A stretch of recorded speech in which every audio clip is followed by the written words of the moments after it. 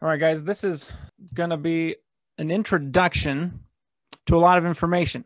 And uh, I'm really excited to share it with you because it's been a long time gathering all the information into one place. Okay, so this is a look at the changes to the name of the church, particularly uh, a narrative that's a little different than we're used to. We're going to look at the condemnation of the early saints and uh, and how it might be a little different than what we're we normally talk about or hear about. Okay, so with this presentation, keep in mind this is more about finding questions than it is about finding answers. Answers take more time. Uh, I'm certain there will be a lot of people on here that think they already have the answers, including me, because that's just our tendency. Uh, we we think of something, we hold on to it, and we think that's exactly how it is. Um, and the nature of history is, as more things come up, we go, oh, I guess it was a little different. So I'm hoping to bring more questions to your minds than answers with this. Okay, and it is ongoing. Feel free to contribute if you think I missed something, some document, some important piece of information. Uh, please let me know. Send it to me because this is going to be ongoing research. We want it to be as uh, comprehensive as possible. I was going to say definitive, but it's hard to make it so definitive, but comprehensive. All right. So, looking at the names of the church, which church shall be called the Church of Christ? That comes right out of articles of the Church of Christ written by Oliver Cowdery in June 1829. Which church shall be called the Church of Christ, which uh, was given, he says, by revelation, according to a commandment where he was told to go and create uh, these articles for the church according to those things which were written.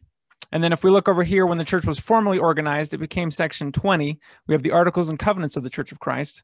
The Articles and Covenants of the Church of Christ, agreeable to the will and commandments of God, the rise of the Church of Christ in these last days. So here's some screenshots. So we start with the Church of Christ. That is the name of the church. Here is, uh, this is from Gospel Topics, uh, slash church history topics on the church's website. So we're going to look just as an intro, uh, the church's main stance on the name changes of the church. And then we're going to address uh, some interesting points that come up along the way. So pay attention.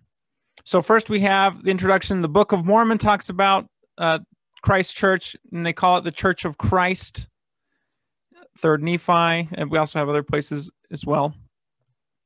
But then we go down. Okay, Church of Christ starts in 1829, as we just saw with uh, Oliver Cowdery with that document through 1834, and we're going to look at some of the things they say here. Even before the church was organized, Oliver followed this commandment here. Okay, then we have when the church was actually formally organized, Joseph was called by revelation as elder in the Church of Christ. So there we go. And then they also called themselves uh, saints. wonder if I can move this thing around.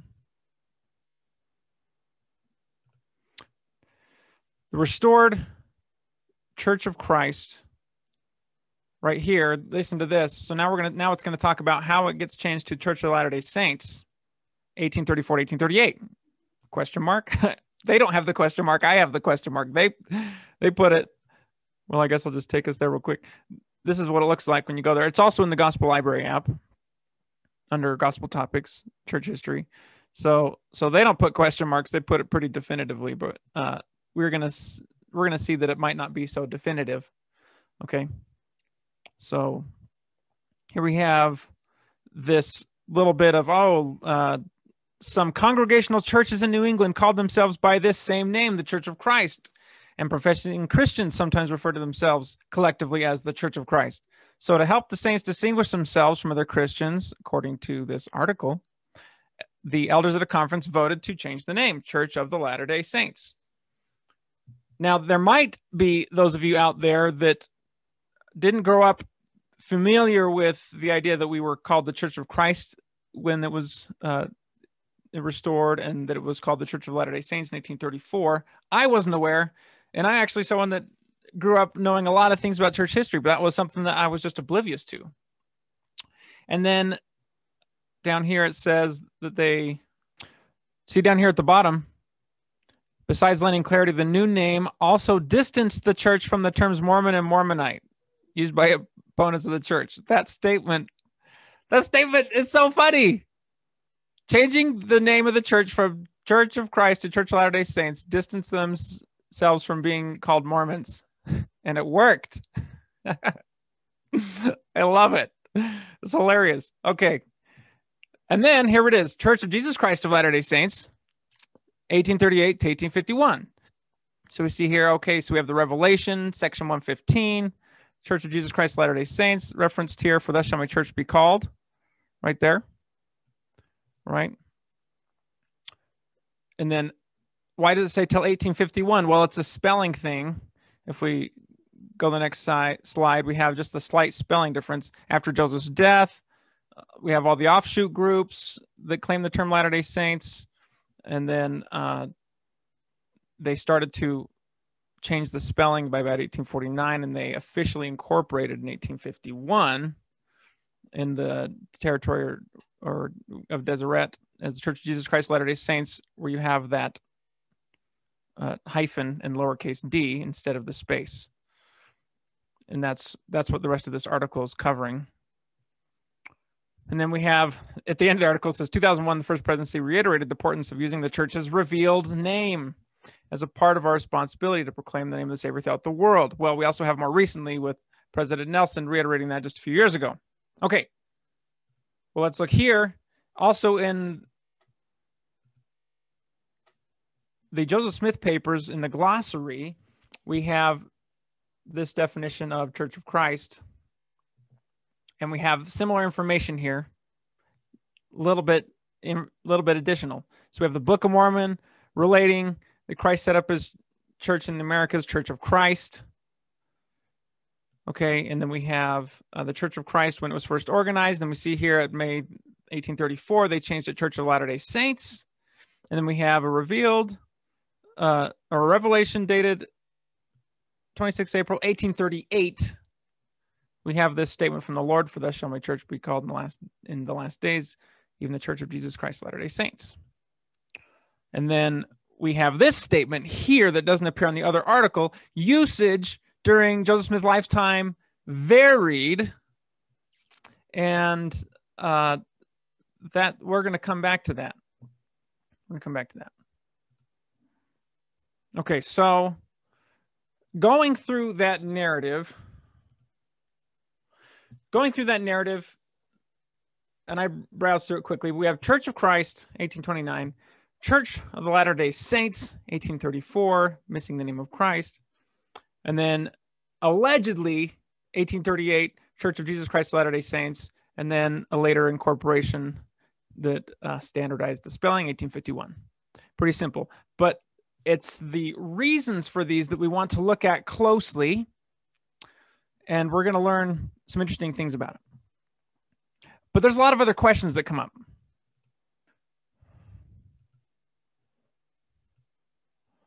Okay, why would Joseph Smith change the name of the church contrary to Jesus' statement in 3 Nephi 27? Is there any evidence to give other to give other reasons to the name change? other than what the church offered in that article. Another question why wasn't there a conference to accept the new name after 1838, Church of Jesus Christ of Latter day Saints? We'll take a look at that. Why did Joseph Smith and others continue to use the name Church of the Latter day Saints after 1838, while no one continued to use the name Church of Christ after the 1834 change, with just a couple of exceptions to that? Uh, then we have especially someone such as Governor of Illinois, Tom, Thomas Carlin, who would have only known it by the new name Church of Jesus Christ Latter day Saints. We will get to that. Here's a couple other questions. Why are there apparent unauthorized corrections to references to Church of Latter day Saints in some records? Why are so many of our records handwritten copies of originals, but few originals?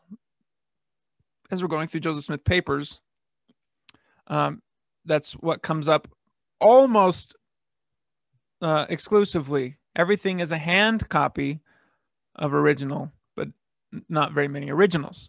That's really important. Uh, they would have to make they would have to have the original on hand in order to make a handwritten copy of the original. That's the irony of it.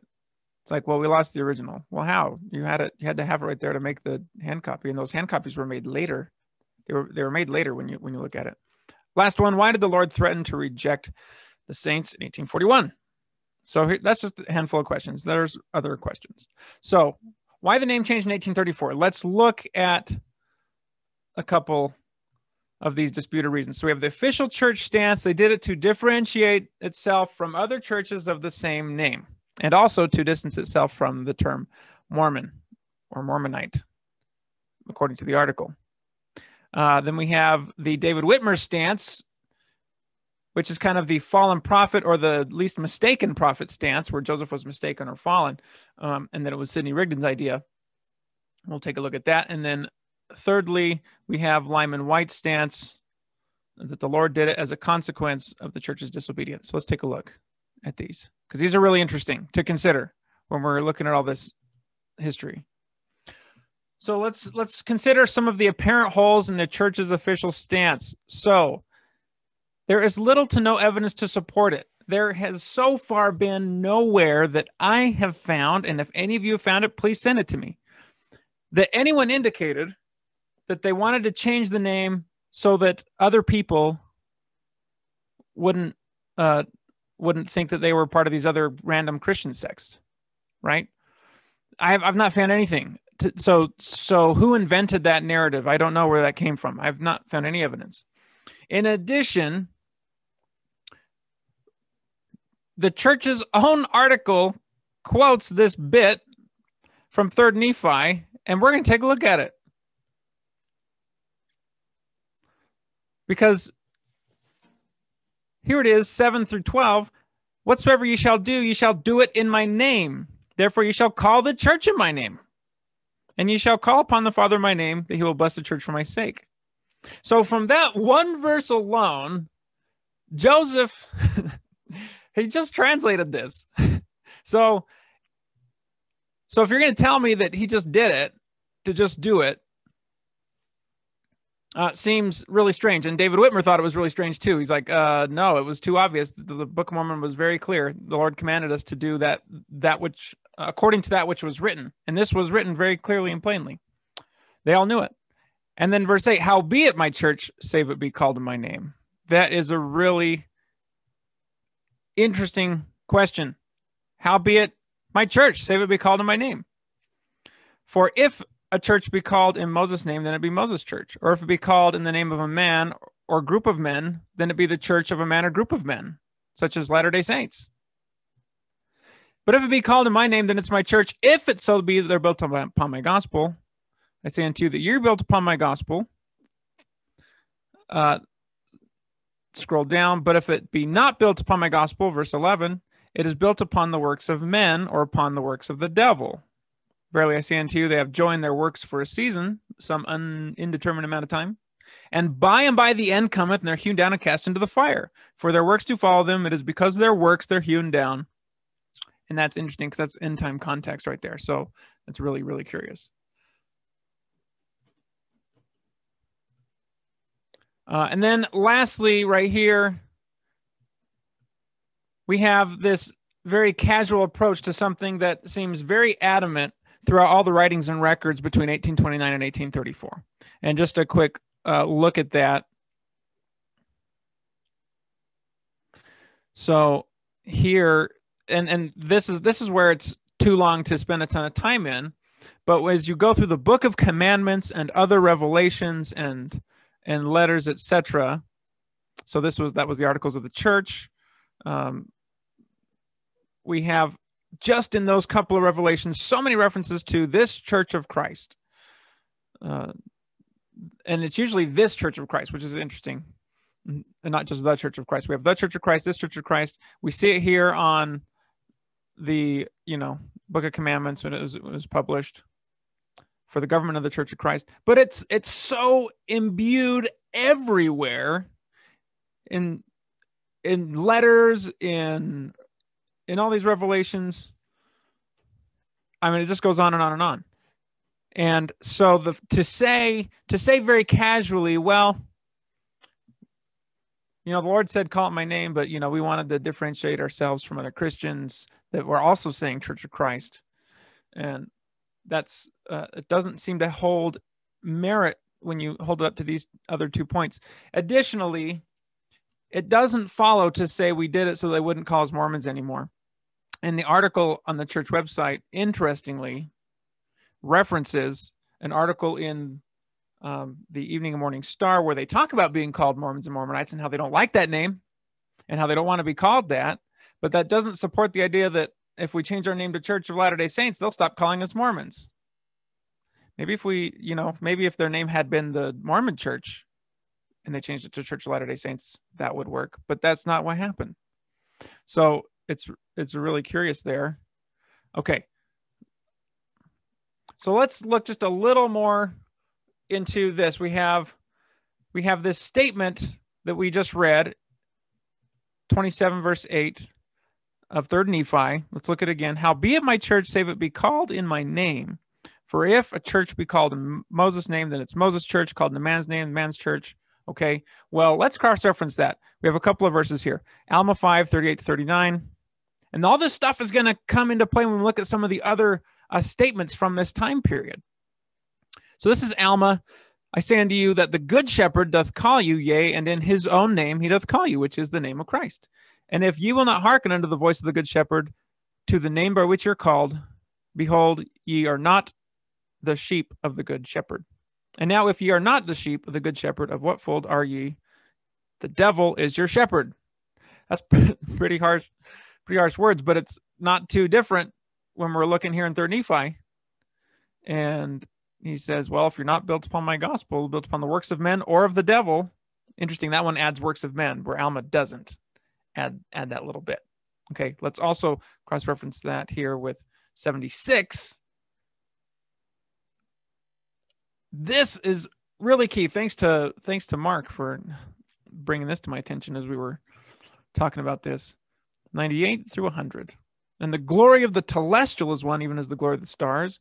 Verse 99 For these of the telestial are they who are of Paul and of Apollos and of Cephas or of Moses, right? Verse 100. These are they who say some are of one, some of another, some of Christ, some of John, some of Moses, some of Elias, some of um, Isaiah, and some of Isaiah, and some of Enoch. These all tie together as we're painting this picture. Why Church of the Latter day Saints? What happened? Well, let's look here, section 109. This is the dedicatory prayer for the Kirtland Temple in 1836, which was after, um, about two years after the name change. Listen to this prayer from Joseph. Oh, hear, oh, hear, oh, hear us, O Lord, and answer these petitions and accept the dedication of this house, the Kirtland house, the Kirtland Chapel, unto thee, the work of our hands, which we have built unto thy name, and right here, and also this church to put upon it thy name. And help us by the power of thy spirit that we may mingle our voices with those bright shining seraphs, etc., etc., to put upon it thy name. So that suggests Lord had something to do with it because if Joseph had just said, Well, we're going to change it and take Christ's name out, why on earth would he pray and say, Christ, please put your name back? See, it doesn't follow. It just doesn't follow. It doesn't hold water. And how about this statement in section 124? This was given in um, January 1841 regarding this uh, the command to construct the Nauvoo temple. There's not a place found on earth that he, the Most High, may come to, to and restore again that which was lost unto you, or which he, God, hath taken away, even the fullness of the priesthood. So here's a reference of the Lord at some point prior to 1841, taking something from the saints or telling the saints something that was lost unto them. And he says, even the fullness of the priesthood. So just from these two verses, we have the Lord's hand in something going on. 109, the name of Christ in the church. 124, the priesthood in the church. Let's look at David Whitmer's explanation for just a second. His explanation is basically this idea of the fallen uh, prophet or the mistaken prophet motif. So it's, it's not it's not his. He doesn't own this explanation, but uh, since since he's an eyewitness to the goings on, we're going to look at this. This is an address to all believers in Christ that he wrote. You see that 1887 right at the end of his life. So second to last page, let's zoom in here for you. So he talks about this change, but he does it with a slightly different perspective of they shouldn't have done this. So right here on the title page of the Book of Commandments is Book of Commandments for the Government of the Church of Christ, all caps. On the title page of the Doctrine and Covenants, which was published in 1835, we have Doctrine and Covenants of the Church of the Latter-day Saints. And the preface we have to members of the Church of Latter-day Saints. So as he goes on, he says this was Sidney Rigdon's idea, suggested to Joseph to change it, and Joseph shouldn't have done it. So this is 75 pages. You can come back and look at it. And and this is the idea that Joseph made the decision. Again, uh, now he's he doesn't say anything about the idea of oh trying to differentiate from other churches, etc. He's he's more making the claim that Joseph was a fallen prophet because he eventually leaves the church. Uh, so it's similar to the church's explanation of well, they just made the decision, but uh, they're offering slightly different reasons. Okay, now let's look at Lyman Wight's explanation, which is that the Lord, the Lord had a hand in it. So this is really interesting. In April 1837, three years after the name change, Church of Latter-day Saints, we have this.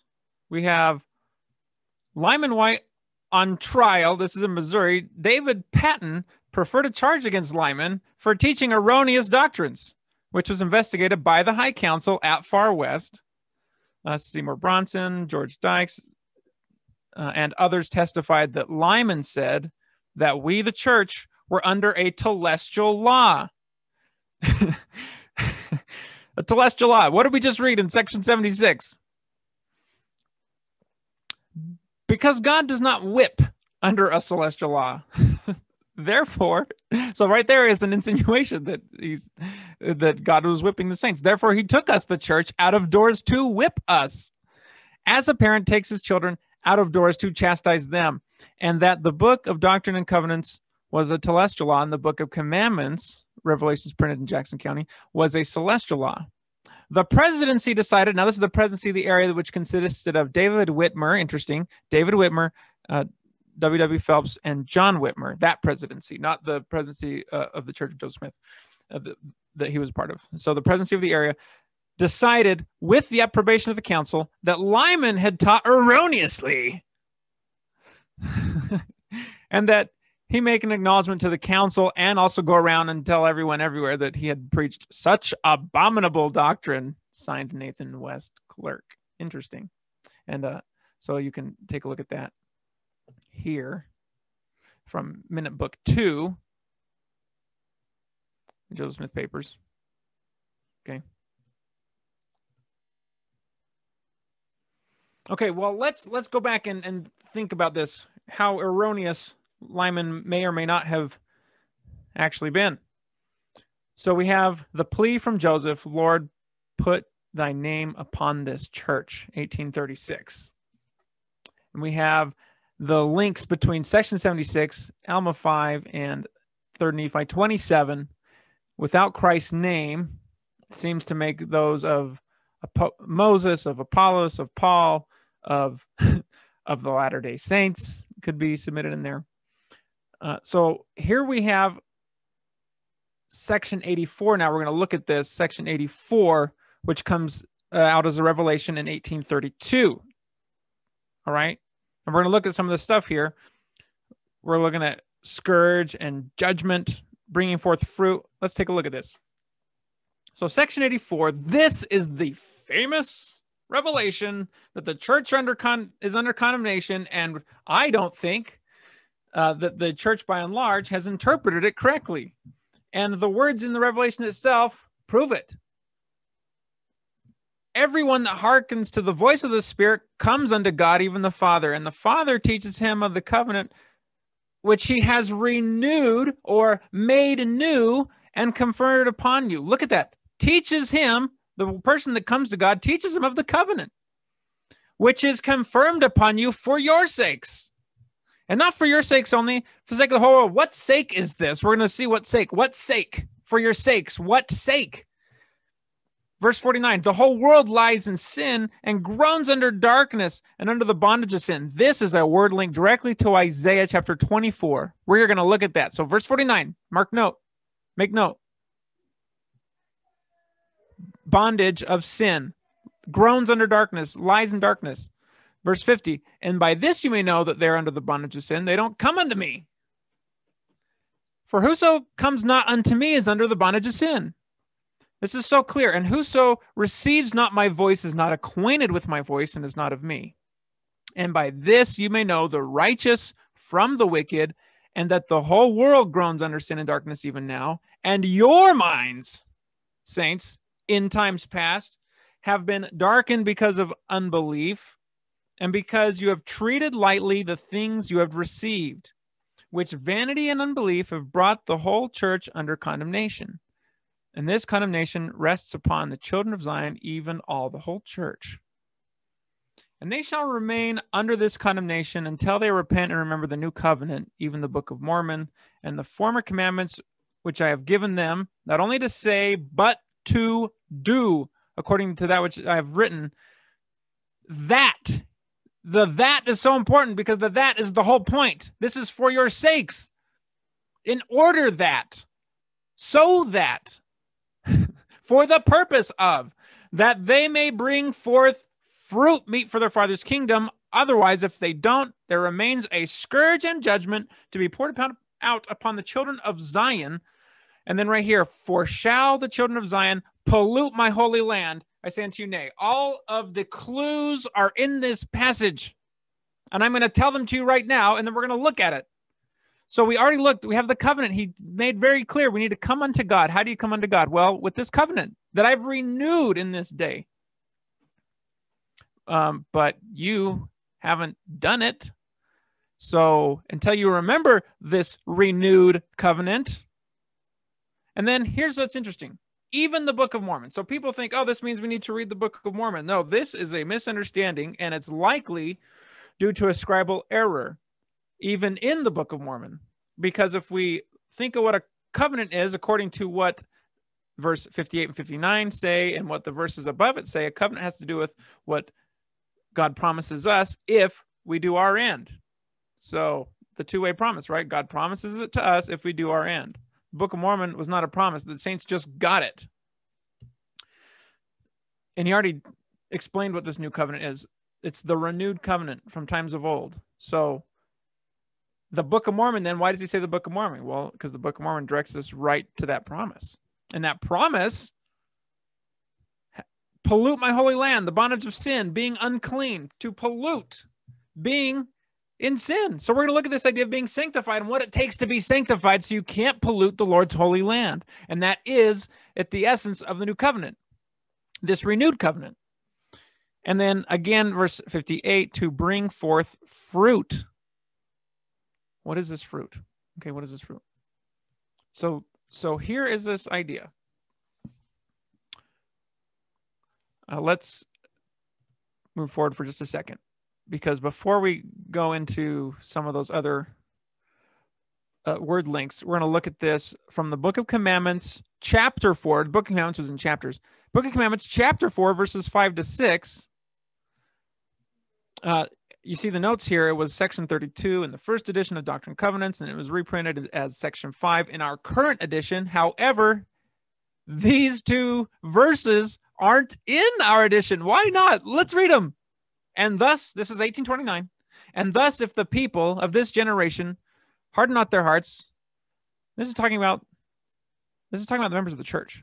I will work a reformation among them, and I will put down all lyings and deceivings and priestcrafts and envyings and strifes and idolatries and sorceries and all manner of iniquities, and I will establish my church like unto the church which was taught by my disciples in the days of old, which was the church of Christ. And now, if this generation do harden their hearts against my word, behold, I will deliver them up unto Satan For he reigneth and hath much power at this time, for he hath not great hold upon the hearts of the people of this generation, and not far from the iniquities of Sodom and Gomorrah do they come at this time. And behold, the sword of justice hangs over their heads. And if they persist in the hardness of their hearts, the time comes that must fall upon them. Behold, I tell you these things, even as I told the people of the destruction of Jerusalem, and my word shall be verified at this time as it hath hitherto been verified. This is packed with so much. We have, I will work a reformation. Doesn't say restoration, says reformation. That's interesting because that that potentially hints at this idea of the church falling. And the Lord saying, Well, if you don't harden your hearts, because in section 84 he says, Well, your hearts have been hardened. He's like, I'll work a reformation and answer that plea. Lord, put your church back, put your name back on this church. Excuse me. And then the next verse, verse six, look at this. Even as I told people of the destruction of Jerusalem, he's saying, I'm giving you a warning before certain destruction. Repent.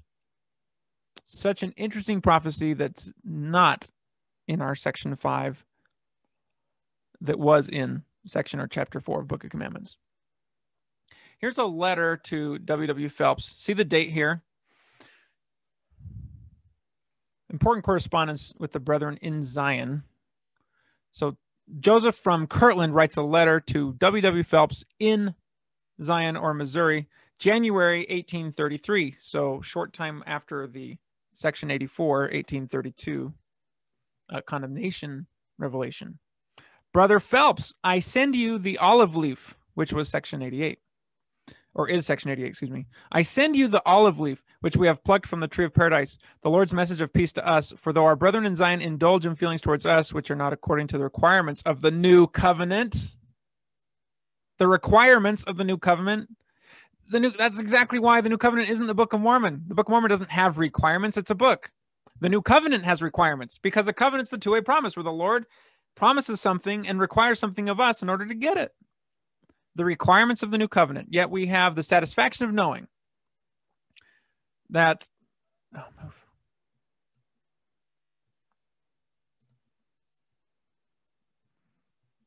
that the Lord approves of us and has accepted us and established his name in Kirtland for the salvation of the nations, for the Lord will have a place whence his word will go forth in these last days in purity. And then look right here. For if Zion will not purify herself so as to be approved of in all things in his sight, he will seek another people. Okay. That should be highlighted. Let's highlight that. He will seek another people. For his work will go on until Israel is gathered, and they who will not hear his voice must expect to feel his wrath. Let me say unto you, seek to purify yourselves and also all the inhabitants of Zion. There it is again. Seek, therefore, seek to purify yourselves. Purify yourselves. That's going to lead right up to what this covenant's all about. Lest the Lord's anger be kindled to fierceness. Listen to this. It's a progression. See that progression right there? Lest the Lord's anger be kindled to fierceness. He's already mad, and that's why they're under condemnation. Don't let it get fierce, though. So purify yourselves. Repent, repent is the voice of God to Zion, to the Latter day Saints. Repent. You're not repenting. And strange as it may appear, yet it is true. Mankind will persist in self justification until all their iniquities exposed and their character past being redeemed and that which is treasured up in their hearts be exposed to the gaze of mankind. I say to you, and what I say to you, I say to all hear the warning voice of God, lest Zion fall. And the Lord swear in his wrath, the inhabitants of Zion shall not enter into his rest. There's another link to section 84 that had the condemnation. We're going to look at that. Joseph is saying, Look, make sure you heed the Lord's warning voice. He's already warned you, saying you're under condemnation. He's so that condemnation means his anger is kindled against you. Don't let it get kindled unto fierceness, though, and purify yourselves and repent. Because if you don't, the Lord might swear in his wrath that the inhabitants of Zion shall not enter into his rest.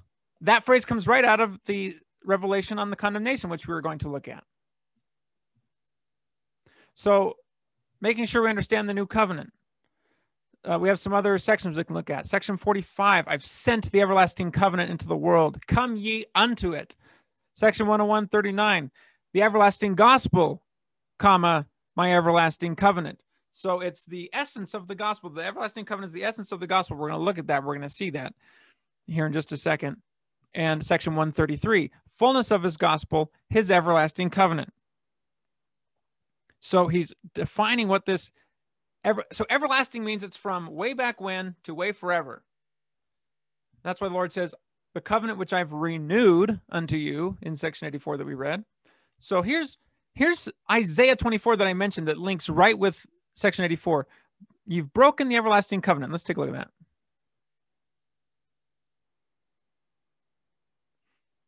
The earth also is defiled on the inhabitants thereof. This is verbiage that the Lord used in section 84. We just read it.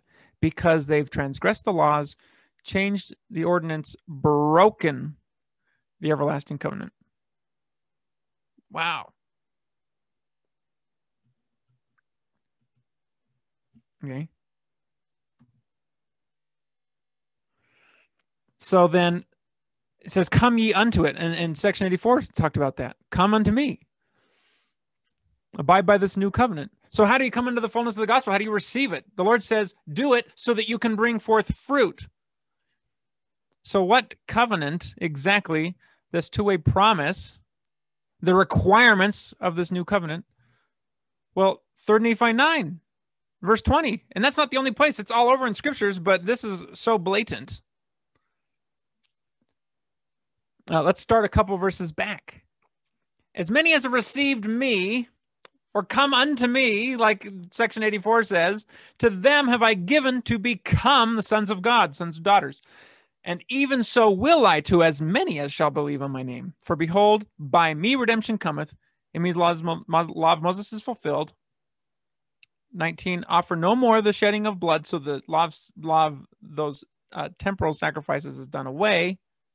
But verse 20, but you shall offer for a sacrifice. This is your end, our end. You shall offer for a sacrifice, broken heart and a contrite spirit. The Lord is establishing a covenant here. And this is all throughout the scriptures from the beginning of time with Adam all the way till now, making it everlasting and thus renewed, new and everlasting. Sacrifice of a broken heart and a contrite spirit. And whoso comes unto me with a broken heart and contrite spirit, here's my end. I'll baptize with fire with the Holy Ghost, even as the Lamanites because of their faith in me, time of their conversion, were baptized with fire and the Holy Ghost, and they knew it not. Therefore, verse 22, whoso repenteth and cometh unto me. So he's saying, therefore, that's a summary. So this is how we repent and come unto him. Section 84, that, that verbiage, that's kind of how we repent and come unto him. So linking all this stuff together, it goes hand in hand, in hand, in hand from one piece to another. So we offer a broken heart and a contrite spirit. Christ offers to make us his sons and daughters through the baptism of fire and the Holy Ghost. That's how he sanctifies us. If we had more time, we can go into more of those scriptures, but we don't. But that's the baptism of fire and the Holy Ghost sanctifies us. So we have uh, purify yourselves. Shall the children of Zion pollute my holy land? I say unto you, nay. That was from section 84. How about this? From Millennial Star, we come to this standard, we're going to look at what Millennial Star says. So, how do we come to the fullness of the gospel? How do we come to the new covenant or into the church of Christ? Baptism of fire and the Holy Ghost. So, those who have taken upon them his name or become his sons and his daughters, the baptism of fire and the Holy Ghost. Well, let's look at this. In the Millennial Star, we have this critique of the church and of the saints. Were the saints actually receiving the fullness of the gospel slash church of Christ slash receiving the baptism of fire and the Holy Ghost? Let's take a look real quick. So I, I uh, had to hand type this out, but this is straight from the Millennial Star, Volume 4, August 1843. So 10 years later, so this is 10 years later. The Saints have had 10 years to try and do these things. And 10 years later, Thomas Ward, uh, who I believe mission president over England and also editor of the Millennial Star at this time, he makes some connections again to section 84. The gift of the Holy Ghost stands preeminently distinguished as the greatest gift that man can receive or be it deity bestow. To pos- the possession of this gift, which is the power of godliness from section 84, we'll be looking at that again, The possession of the gift of the Holy Ghost, which is the power of godliness, is what constitutes the special difference between the church of the living God and everybody else on the earth. So if you don't have the actual gift of the Holy Ghost, then you actually aren't in the church of the living God. And there's plenty of scriptures to show that. Now look at this. We'll skip down. Now, if we ask the question, have we yet attained to this standard? Surely the universal answer would be we have not, especially when we closely examine the nature of it, the nature of the gift of the Holy Ghost. There's the indictment from from Thomas Ward, mission president, uh, serving in England at the time, and an editor of the Millennial Star.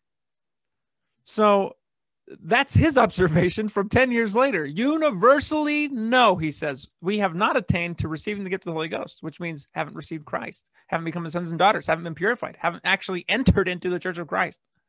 So Lyman's reasoning starts to have a lot of merit, much more merit than the other two explanations have. Uh, so now we're going to just double check real quick in section 84 the come ye unto this everlasting covenant, as God says, this power of godliness, which is the gift of the Holy Ghost, and then the phrase where Joseph seems to be referencing that, uh, well, don't let God swear in his wrath that the children of Zion shall not enter into his rest. So let's take a look at that real quick.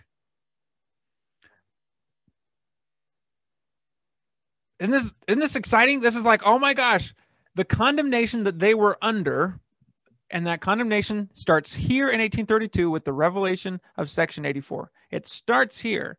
Now, according to President Benson, uh, Elder Oaks, then Elder Oaks, um, uh, President Nelson, they still say, oh, we're still under this condemnation. But as they talk about it, they refer to it having to do with reading the Book of Mormon and being more dedicated to read the Book of Mormon. So the members of the church think that that's it. And it's like, well, how much Book of Mormon do we have to read to get out of this condemnation?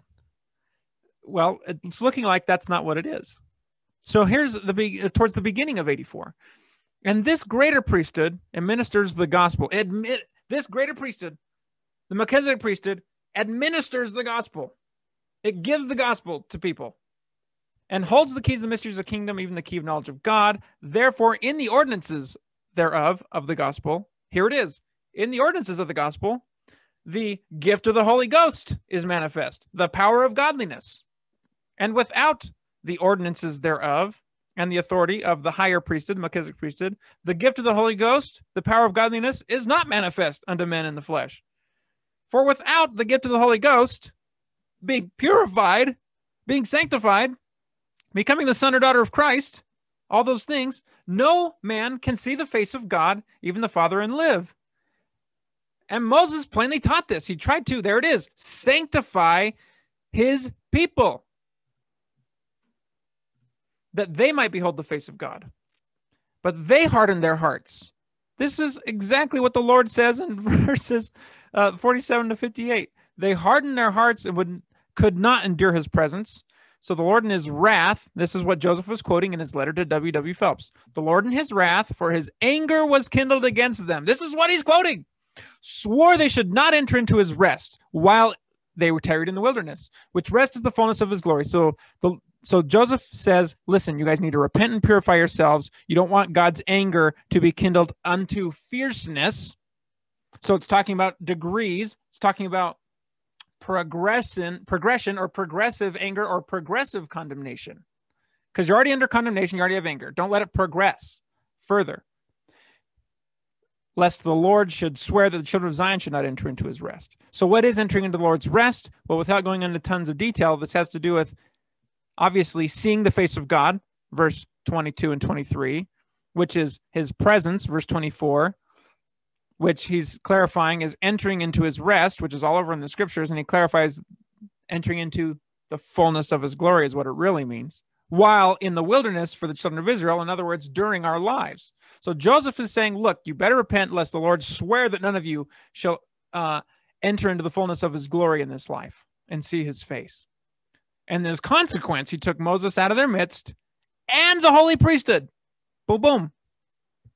And the lesser priesthood continued which is the priesthood of Aaron, which uh, holds the preparatory gospel, key of the preparatory gospel. We're going to come back to that in just a second.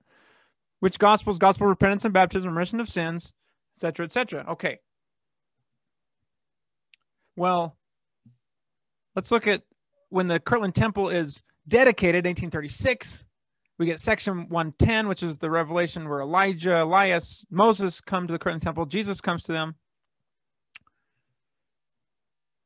And we have this amazing experience now, but the church already lost its name, seemingly, or changed its name, whichever narrative you want to lean into, changed its name or lost the name of Christ. They don't have it back yet. Joseph just dedicated the temple, crying out for Christ to give them his name back to the church. And in the midst of that, we have this. After this, Elias appeared and committed the dispensation of the gospel of Abraham, saying that in us and our seed, all generations should be blessed. So we have now we have a couple of different terms. When was the last time you were taught that there were different gospels? Because just now we already know we have fullness of the gospel. Then we just read preparatory gospel. And then we just read Gospel of Abraham.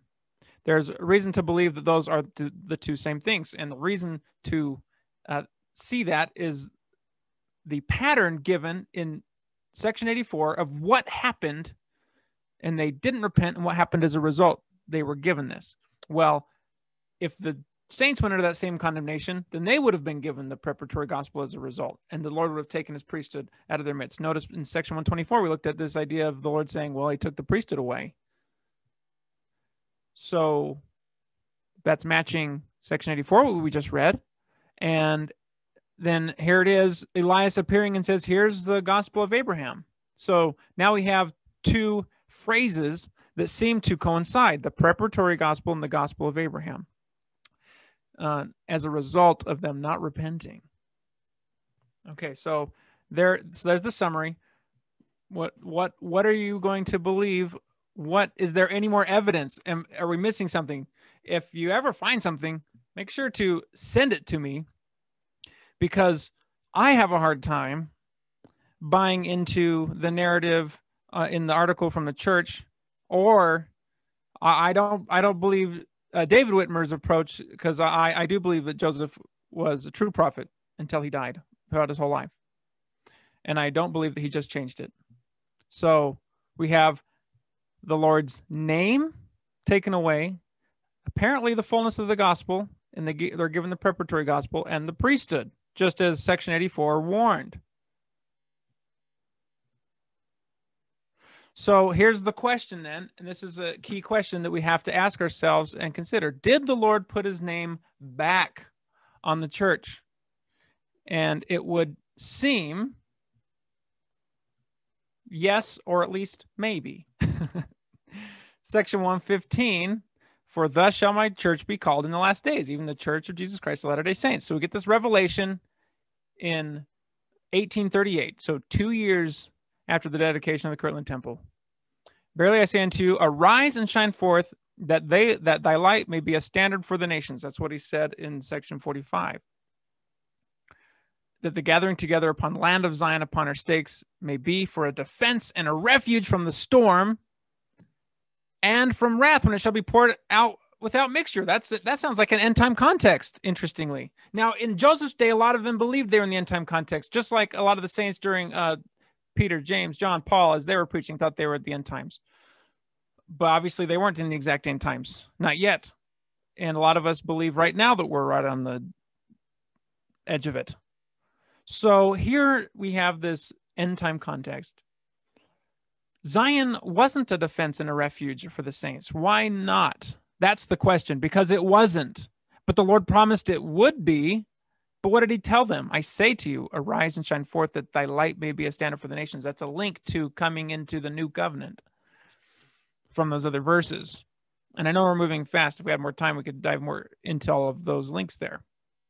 So verse 8 therefore i command you to build a house unto me now this is going to link into section 124 when we come back to it build a house unto me for the gathering together of my saints that they may worship me thus let them from that time forth skipping down this is just a, a selection uh, labor diligently until it shall be finished.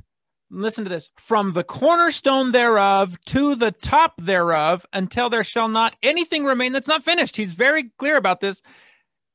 And this is important to remember as we look to section 124 later. And if my people build it not according to the pattern which I showed to the presidency, I will not accept it at their hands.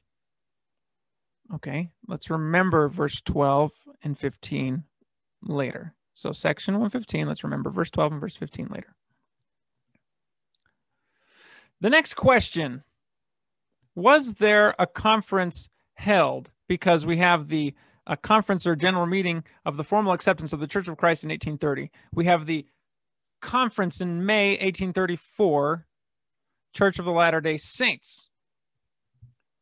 Do we have a conference where the Church of Jesus Christ of Latter day Saints was accepted by the church? That's a it's a good question. It's a good question and it's an important question because here as we're looking at the changes of the name of the church, the church voted in a general conference in May 1834 to change the name to the Church of the Latter day Saints. This was published in the Evening and Morning Star, Volume 2, Number 20. Also referenced in History of the Church, Volume 2 by B.H. Roberts. And here are the minutes minutes of a conference of elders of the Church of Christ. So as they gathered, they gathered as the Church of Christ, which church was organized April 1830 and then President Smith was chosen moderator. Uh, Frederick G. Williams, Oliver Cowdery appointed clerks. After prayer, the conference proceeded to discuss the subject of names and appellations when a motion was made by Sidney Rigdon and seconded by Whitney, Newell K. Whitney, that this church be known hereafter by the name of the Church of the Latter day Saints. Remarks were made by the members, after which the motion passed by unanimous vote. Resolved that this conference recommend to the conferences and churches abroad that in making out and transmitting minutes of their proceedings, such minutes and proceedings be made out under the above title, Church of the Latter day Saints. Resolved that these minutes be signed by moderator and clerks, published in Evening Morning Star, uh, J. Smith, F. Williams, O. Cowdery. So, what's interesting is that these minutes don't have the details of what they talked about. the remarks were made, uh, discussed the subject of names and appellations, and then boom, let's change it. So too bad we don't have that at our disposal uh, to look at. So now we're going to look at this idea of holding a conference for accepting the name Church of Jesus Christ Latter day Saints. Because why is it important? Well, because everything's supposed to be done by the voice of the church and common consent. Look at just just in uh, the revelations from uh, these are also from Book of Commandments, but they're also in our current Doctrine and Covenants. Here's three sections right here by common consent, done in order, and by common consent, only by the voice and common consent of the order. Go, uh, moving on, verse, section 38 shall be appointed by voice of the church. Section 41 shall be appointed by the voice of the church. Section 102 acknowledged in his administration by the voice of the church. It was something that they practiced very diligently. All of the minutes uh, and all the conferences, they voted or rather received or accepted by vote everything, including little details. Little details such as here's something fun. Here in this this is this is why it boggles my mind that uh, that we don't have the details of of this supposed conference. Here is voted by a general conference of the ordained members, Church of Jesus Christ of Latter-day Saints, that all licenses hereafter should be signed by one of the first uh, presidency of the church and president of the general recorder as clerk, and all others, of course, be con- considered fraud after this date. These are licenses uh, such as so and so was ordained uh, elder to the church, etc., etc. Um, that's what this license book is. Uh, right here, here's the license to whom it may concern certifies that Benjamin L. Clapp has been received to the Church of Jesus Christ Latter day Saints, organized, etc., etc given by the direction of a general conference, et cetera, et cetera, signed Joseph Smith, uh, George Robinson, Recorder General. So, so here is an example of they made a small little change. Okay, all of our licenses have to have this signature, otherwise it's going to be considered fraud after this date. Uh, uh, the signature of the pres- of someone from the presidency of the church. So that's a really interesting thing to know. And there are there are dozens, hundreds of examples of this type of action done in the minutes and conferences of the church. So that's why this is significant because they did it by the voice of the church in everything. And we saw that in 1834. They changed the name for whatever reason. Looks like the Lord took it out, but the church still accepted it. The Lord commanded his church be called the Church of Christ in 1829. They still formally met to organize and accept it in 1830. So that okay, let's skip ahead then to some of the legal actions that were made to incorporate the name of the church formally in the state of Illinois. We have a bill to incorporate the church, and we have this appointment of Joseph Smith as trustee of the church. And we'll see how that's significant. So, the bill to incorporate the church. This is in John Bennett's handwriting. We'll talk about why that's significant in just a second. It mentions the need for the church to hold a meeting. Interesting, huh? Look at this. Here is from the bill.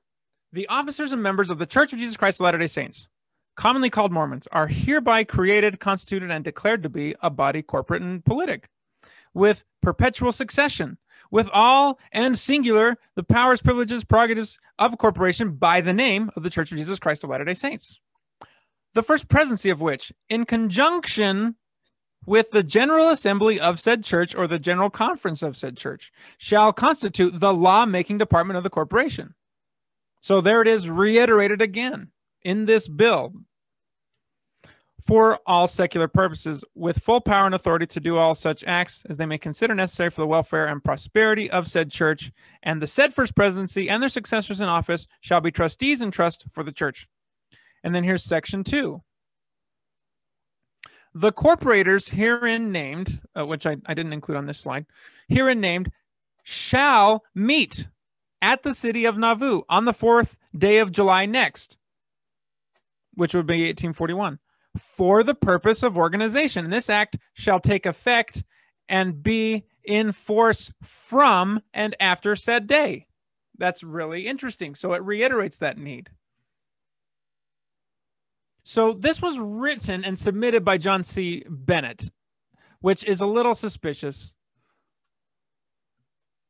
Here is from his own word. So those who don't know about John Bennett, he was an impostor. He came in, rose really fast in the city of Nauvoo to mayor, rose really fast in the church to the first presidency, uh, betrayed Joseph on numerous occasions, all sorts of stuff. Such a mess. So here's from his own account. It's of course necessary for me to give some explanation of the reasons which led me to join the Mormons. Skip down. Uh, the opinion of those who have heard of me in the eastern part of the U.S. that I unified to the Mormons from a conviction of the truth. No, that was a gross error. Not true. I never believed in them or their doctrines. So we see here in this next paragraph that he was noticing and wording that the Mormons were going to basically overtake everything, you know, and so that he wanted to get in and expose it and help bring it down. So if we skip down where it's highlighted, so this determined me to make an attempt to detect and expose the movers and machinery of the plot. I perceived that I would be useless to undertake this by open opposition it at length occurred to me that the surest and speediest way to overthrow the impostor, J. Smith, and expose his iniquity to the world would be to profess myself a convert to his doctrines and join him at the seat of his dominion, which he certainly did at the seat of the first presidency.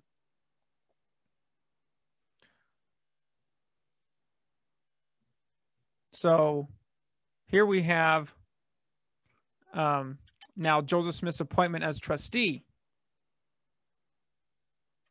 to the county recorder. Hang on, I'm gonna just shrink this for a second. To the county recorder of the county county of Hancock, dear sir, at a meeting, here's a reference to a meeting of the Church of Jesus Christ Latter-day Saints at this place on Saturday, 30 of January, 1841, I was elected sole trustee for said church to hold my office during life, and vested with plenary powers as sole trustee and trust for the Church of Jesus Christ Latter day Saints, etc., etc. Uh, this is agreeable, very end, agreeable to the provisions of an act entitled An Act Concerning Religious Societies that was approved by the state of Illinois in 1835, signed Joseph Smith. Well, this is that um, record from the county clerk's office. Okay. And we have the law that he's referring to, the act concerning religious societies. We have that law right here. And this is going to point out some interesting things. So, section two of this act of pertaining to religious societies, listen to this. A- immediately after the election or appointment of trustees by any society or congregation, as aforesaid, the persons elected or appointed, so Joseph, should make a certificate under his hand and seal. Number one, stating the date of their election or appointment. And two, that shall be verified by affidavit by some one of the persons making the same. And then three, shall be recorded by the recorder of the county. Well, that's what this is. This is number three. This is in the hand. This is this is from the county records in the hand of the county clerk. That's number three. So that means we're missing number one and two. We don't have a certificate under Joseph's hand with a seal stating the same thing. And we don't have an affidavit. So again, both of these attempts to supposedly incorporate legally with the state the name Church of Jesus Christ of Latter day Saints have some peculiar holes in them. And here is uh, just a snapshot from that uh, piece of legislation. I pulled, it took me a lot of time, but I found this from the laws of state of Illinois, 1834 to 1835. So there's that little bit that we just quoted. So let's look at this possible conference that was held.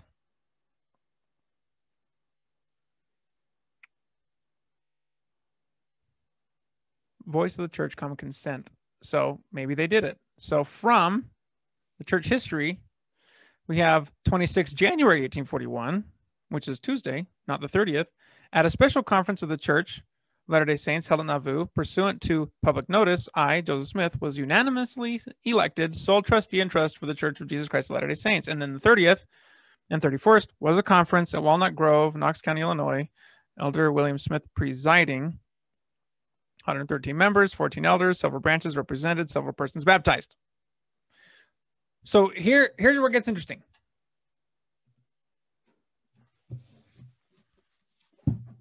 So here is B.H. Roberts' History of the Church.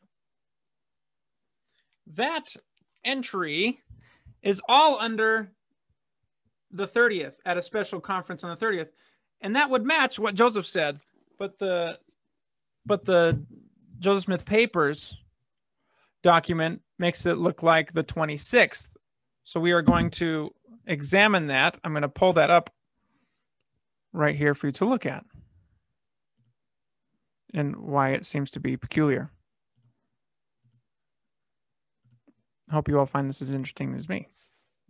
So here it is. It's from this is from History of the Church. So this is uh, where B.H. Roberts gets History of the Church. This is from these volumes that aren't primary sources. So you have primary sources and secondary sources. R- remember, primary source means from exactly where it came from. So in ex- an example of a primary source for what we just read would be the actual copy of the actual minutes of the actual conference. So the minutes that we looked at from the 1834 Church of Latter-day Saints, that was a secondary source uh, because it wasn't from the actual minutes. It was minutes that were copied into the Evening and Morning Star uh, publication and published out. So that's a secondary source. Um, this is definitely a secondary source and less credible because it's like, well, where did the primary source come from? So take a look here. I'm going to zoom in. Take a look at this. So the 30th of January, we have the record that I just read. Then look at this curious insertion. This is all over in a lot of records. Really curious insertions. The special conference, blah blah blah blah blah. It's like, oh well, that that that event had to happen right here because Joseph said it did. But then it's noted as 26. Those are all references to dates 24, 21. So 21, 24. And on the 26th, this little blip at a special conference, blah, blah, blah, blah, blah. Isn't that curious? It's beyond curious. It's suspicious. There it is. So there's there there it is zoomed in. Now again, this is not an original record. It's a handwritten uh, version of history that they were getting from wherever they were getting it from. And on the in the Joseph Smith papers, at the top of every page, it says source note. When that source note tells you whose handwriting is it in, where it came from, blah, blah, blah. And almost every single page of all of Joseph Smith papers is a copy of the original, not the actual original, which is again curious because if someone's hand copying it, they could change it. So let's say that the church then changed its name because there's a lot of usage to indicate that they did. So many people use the name Church of Jesus Christ of Latter day Saints.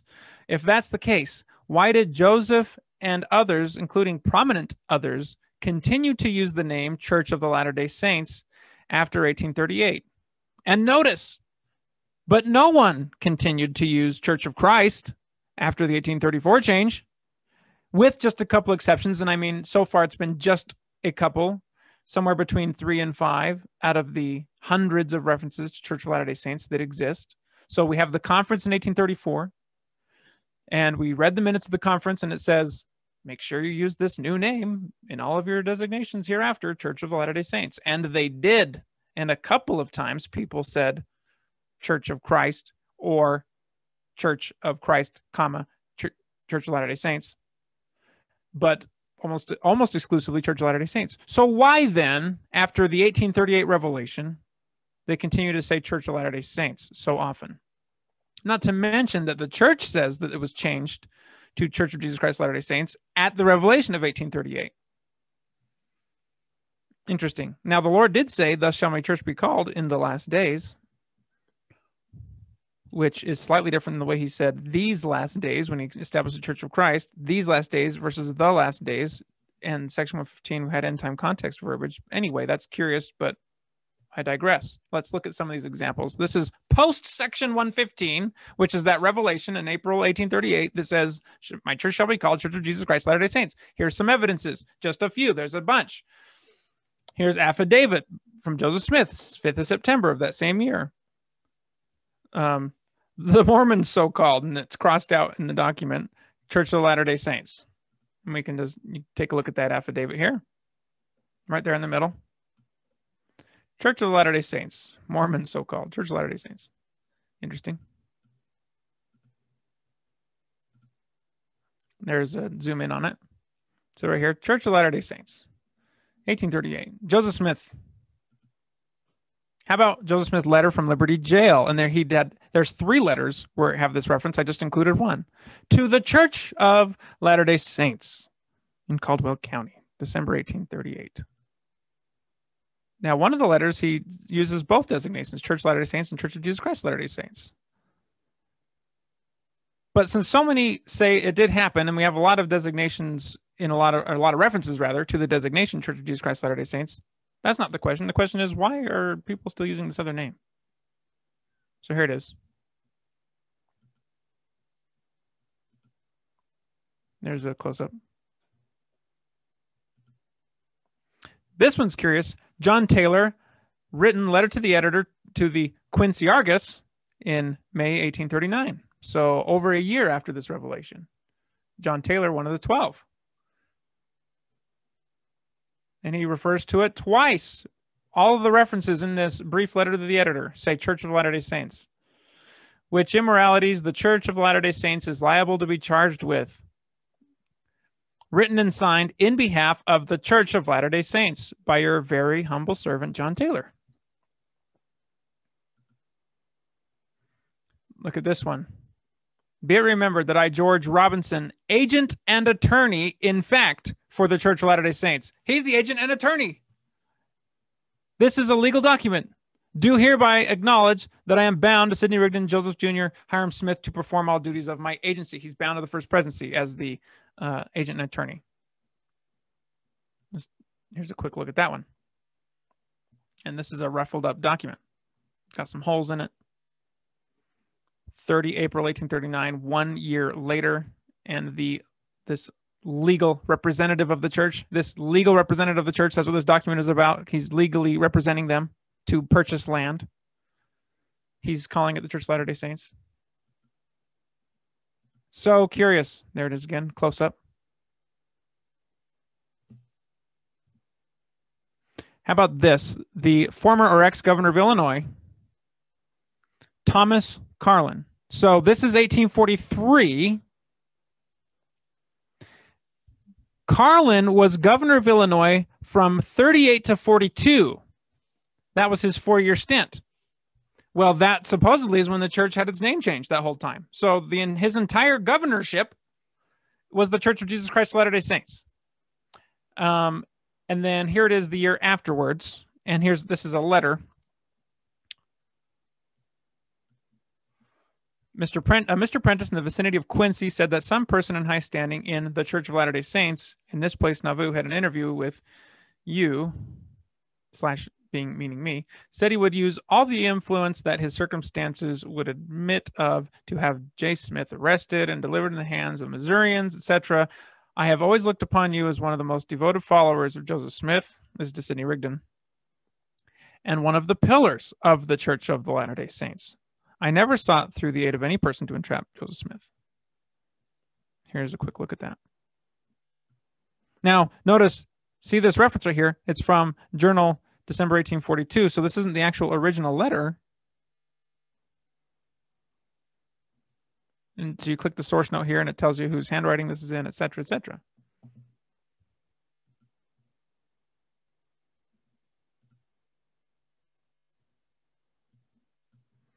Here is from resolutions in December 1843, drafted by Phelps and Reynolds Cahoon and Hosea Stout. Whereas the state of Missouri, with the governor at the head, continues to make demands upon the executive of Illinois for the body of General Joseph Smith, as we very believe to keep up a system of persecution against the Church of Latter day Saints, unconstitutional warfare against said Church of Latter day Saints, which he has practiced during the last 12 years. Here it is uh, minutes of the High Council from Minute Book 2. Look at this June 1st, 1844, right at the very end of Joseph's life the High Council of the Church of Latter day Saints, met at the 70s Hall. Agreeable to German, 1st of June, etc., etc. President, stake president, William Marks. Right? Here's a look at that. So, the High Council of the Church of Latter day Saints, right at the very end of Joseph's life. Here's a close up. Church of Latter day Saints. So, real quick, so as we consider this, is it again, is it definitive? It's not definitive, but the idea is to collect as much of this information as possible so we can get as clear picture as possible. So we have tons of usages of Church of Jesus Christ of Latter-day Saints from 1838 until Joseph's death and obviously beyond. That's not the question. Uh, the question is why so many references Church of Latter-day Saints? That was just a few, but I tried to pick some really prominent ones, uh, either prominent people or prominent types of documents. And there are other uh, legal records that have it as well. So why why would that be the case? So if the Lord put his name back on the church, then we have this idea of 1838, Lord puts his name back. 1841, Joseph Smith becomes appointed trustee in trust officially if we accept that document and we accept that supposed conference in that book that we saw the uh, notes on. Uh, and that was at the end of January. So that means we have to go back to section 124 where the revelation given in January 1841, same month, only 10 days prior. So we're going to go right back to that. So January 19, 1841, section 124. We were looking at this earlier, verse 28. The Lord is saying he needs to restore again what was lost to the saints or what he'd taken away, even the fulness of the priesthood. And then he goes on saying, This is why the house is needed. We need a baptismal font to do baptism for the dead because it belongs in the temple. Um, so, verse 31 But I command you, all my saints, to build a house unto me. Now, this really similar to the command that we read in section 115. Remember, I said to remember verse 12 from section 115 when he gave him these specific commandments for building the house. And I grant unto you a sufficient time to build a house. Verse 31. And during this time, your baptisms shall be acceptable unto me. What baptisms? Well, they were asking if they could do them in the river in the meantime because they were so excited about this new doctrine. And so the Lord is saying, Yeah, during this appointment, I will let them be uh, done in the river. But, ap- but after this appointment, verse 32, at the end of this appointment, your baptisms for your dead in, that you're doing in the river shall not be acceptable to me. And if you do not these things, at the end of the appointment, ye shall be rejected as a church with your dead. Say the Lord your God. Okay, let's back up again just a quick second. Let's review some of this stuff. In 1832, they come under condemnation. We read one example of the letter from Joseph Smith. Whoop, sorry. One example letter from Joseph Smith to W.W. Phelps and the church in Missouri, in Zion, that to beware lest the Lord would increase his anger to fierceness. And so they need to repent as a result uh, to, to avoid that, right? But as a result of not repenting, the Lord takes his name out of the church. At least what it seems to be. And he also takes his priesthood out of the church. So that means his anger did escalate. That means they did progress from condemnation to more severe condemnation or covenant curse because they were not coming under the covenant for covenant blessings, which blessing is the baptism of fire and the Holy Ghost to be purified, to be the sons and daughters of Christ. So they added covenant curse instead. That's the progression. That's the progression. So that did happen. Well, if they progressed in the Lord's anger to fierceness and lost his name in the church and his priesthood. And then 1841, they've had his name back. That means they're supposedly back in his good graces for those three years. Why would the Lord threaten to reject the entire church? Because that would be yet another escalation. That would be another escalation, another progression of this anger. You didn't do it. You need to do this. Here's a warning. Okay, you didn't do it. Follow through. Bam. Consequence. And then here's another warning. And here's another consequence. Rejection. So that's that's a question. If the Lord had given his blessing back to the people, why why would this come out of the blue like that? That would be like one step forward, two steps back. You came back, but now I'm going to just reject you because you won't get this house built in time. Not to mention, to consider two years after this was that article written in the Millennial Star by Thomas Ward saying the church still has not come under the standard of receiving the gift of the Holy Ghost, which means they haven't come under the standard of the everlasting gospel, which is the everlasting covenant. To repent, turn to the Lord, offer a broken heart and a contrite spirit. Isn't that curious? So, what would that mean for us today then? Well, it goes back to that revelation. It's like, well, that revelation of uh, section four that we looked at, or chapter four, which is now section five, and those verses that weren't in there, and the letter from Joseph to W.W. Phelps saying, well, if they don't repent, then the Lord will seek another people. Isn't that interesting? So, this threat to reject the church is pretty serious. And we're going to read here.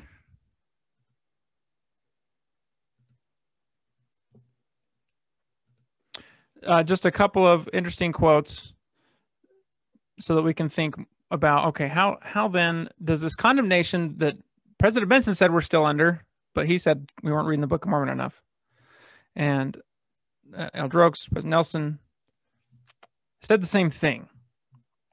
Uh, it's so interesting as you look at it and say, okay, no, it has nothing to do with reading the Book of Mormon. It has to do with not only to say, but also to do. Well, if we say, I take upon myself the name of Christ, but we don't do it and don't actually uh, take upon us the name of Jesus Christ, then then we're not fulfilling that. Not only to say, but also to do. Right. So let's read this then. We read Lyman Wight earlier, who said the church had fallen under a telestial law, and We looked at that. So it's interesting that we're going to come back to Lyman Wight regarding this appointment to build a temple and how important it is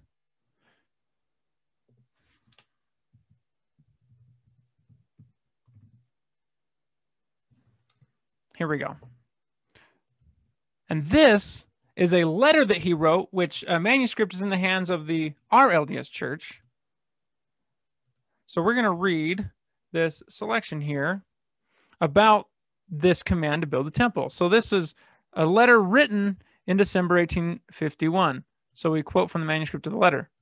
So he says the church mostly went from Kirtland to Missouri where they commenced another house from which they were driven to the state of Illinois. So they only commenced that far west temple, didn't ever finish it. Where we were commanded to build a house or temple the Most High God. We were to have a sufficient time to build that house, as the Lord said, I give you a certain amount of time, during which time our baptisms for our dead should be acceptable in the river.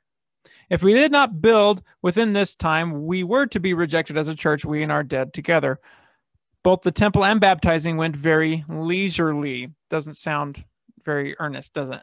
Till the temple was somewhere in building the second story when Brother Joseph from the stand announced the alarming declaration that baptism for our dead was no longer acceptable in the river.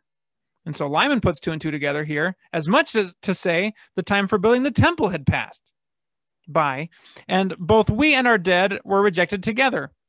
Brother Joseph then called all councils together and chose what we called a grand council of 50 persons, himself and councilors among the rest, also the 12. More than once did he exclaim after this organization that if he should be taken out of the way, the church would remain organized. We remained in a gloomy, fearful situation for a short time when the death of Brother Joseph took place by the hands of the mob, showing to us much plainer than language could tell that the church was rejected if the head was taken from it. The church now stands rejected together with their dead. The church being rejected now stands alienated from her God in every sense of the word really interesting testimony from Lyman. How about this one from Orson Pratt, pulled from the Joseph Smith papers, from Joseph Smith history. Uh, this was this was in 1843. He says, "There's some things I wish to mention, and this is about uh, there are great blessings given to the faithful when the temple is finished." Let's skip down. God declares in his revelations the consequences of not building the house into his name within such a time period that he commanded. The Lord says, If you build the house in that time, you shall be blessed, but if not, you shall be rejected as a church with your dead, saith the Lord. So, if that house isn't built, then in vain are all our cares, our faith and works, our meetings and hopes are vain. Also, our performances and acts will be void. So, section 115 gave us in verse 12 those particulars of what the Lord required. Until it shall be finished from the cornerstone to the top not anything remain that's not finished. That's important to know because that's what it, it's required to have this house be acceptable to me he says he says that very clearly. Verse 15 If they don't do it according to this, I won't accept it. Well, our history shows that the Nauvoo temple was not finished upon the death of Joseph Smith, nor was it ever actually finished to that degree. It was largely finished, but look at those specifics in verse 12 and have nothing unfinished that should be finished. So, for us, if that remained, then President Benson and Oaks and Nelson are right in a sense. They're under condemnation, but it wouldn't be that first level of condemnation anymore. It would be two levels higher. It would have been that escalation of the Lord's anger kindled against his people. They've broken the everlasting covenant, Isaiah says, and Isaiah is talking about the end times. Broken the everlasting covenant. So for us, understanding and knowing if this is what happened, that opens the door to us learning a greater truth for ourselves, what we need to do as a people